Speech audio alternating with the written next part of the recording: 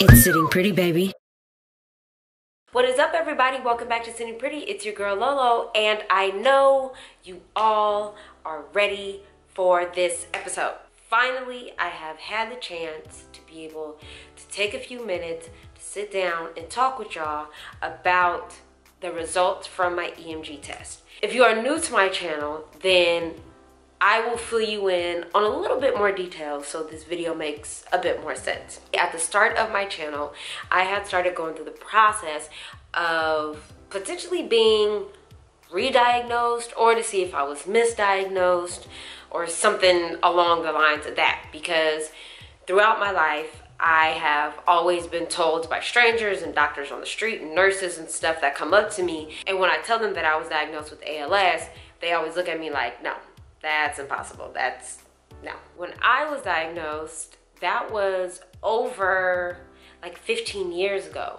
So the progression within medicine and testing and all those things has obviously advanced itself since then. So that's what was really kind of like the reason why I really wanted to like start this journey again is because I know things have progressed since then and maybe at that time based on all the information they had at that time that's the only thing they could conclude it to.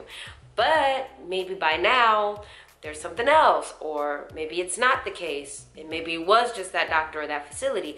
Who knows? So I decided to go through the process. Probably like a couple of months ago, I took the final test that was supposed to determine what is going on with my body. And now I know my results. Basically, what I was told is that the results from the EMG test from a couple of months ago were pretty much the same results that I had received back when I was a teenager. So based on that, they believe that it might still be ALS. But in the same breath, they said, But if you have ALS, then that means you'd be dead right now. Yeah. So clearly, I didn't even know how to receive that. I didn't even know how to take that. You know, they continued to kind of explain themselves to say, like, you know, for some patients with ALS, the progression is really fast. Other patients, you know, live another 40 years, you know, like Stephen Hawking and everything else. So it's really, we just don't know. We'll just see what happens next, kind of thing. Um, now, they didn't say that, but that was just me being sarcastic because I'm still kind of like confused. Honestly, at this point, I'm kind of over it, not gonna lie. I mean, after a certain period of time dealing with these doctors and doing all these tests and everything else, and they ain't really giving me no like straight answer about nothing, it's just mad annoying to me. And I don't need that kind of energy and uncertainty in my life, especially with something as serious as my health, for it to just be this kind of thing that rolls off people's backs like, oh, well, you'd be dead by now. Like, like what kind of shit is that to say to somebody?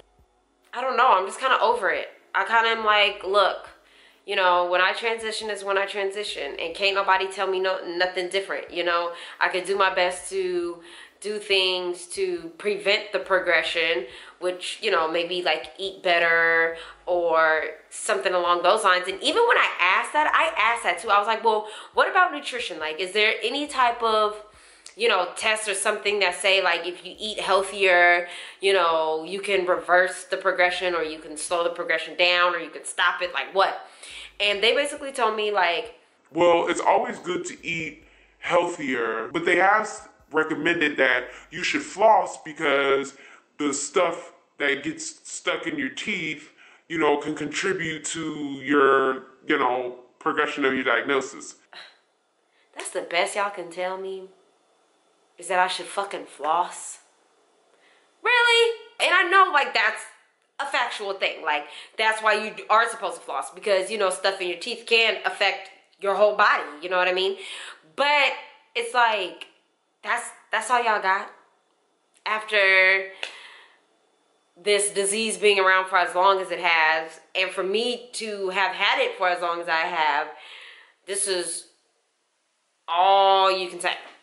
I would still consider myself as undiagnosed. So if you see any articles or stories or whatever the case is, your girl is going with undiagnosed from here on out. That part. Because I do believe in the power of the mind and I do believe in the power of positive thinking and law of attraction all of those things. And those have honestly been the things that have kept me happy and healthy and peaceful with dealing with my health throughout all of these years. That's that. Just keep giving me the positive vibes, the love, the support that you guys give me every single time. Encourages me to continue on living life at the rate that I am. If you have any thoughts, you know, leave a comment below. Let's talk about this discussion of doctors and the ridiculous stuff that they say. Y'all already know I'm gonna keep going.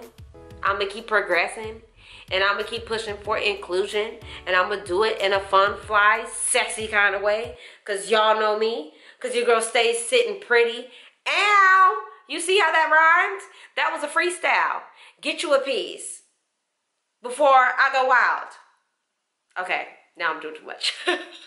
Until next time, it's Sitting Pretty Baby. Peace.